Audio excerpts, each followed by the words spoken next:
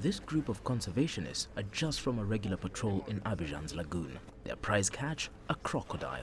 Led by American conservation biologist Matt Shirley, the team works to limit the risk of confrontation between humans and crocodiles by rescuing the beast. This especially as the construction boom in Cote d'Ivoire is driving construction dangerously close to the city's lagoon. As the city has become bigger and bigger, and the people that live here depend less and less on fishing and hunting, um, crocodiles have kind of found the the lagoon system to be a sort of a, a tranquil retreat, and so they're kind of repopulating the area.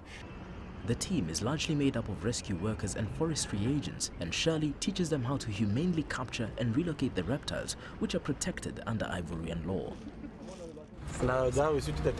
We have already learned about the different techniques such as how to capture them, the different security measures and precautions to take when you're catching them. We've learned all of that from the doctor, so I can say that now we are comfortable with what we are doing.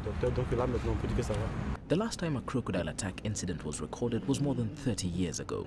Rescue workers have however dealt with the crocodiles in the recent past and witnessed firsthand the effect they can have, and that is the fear that led to the government-sponsored program.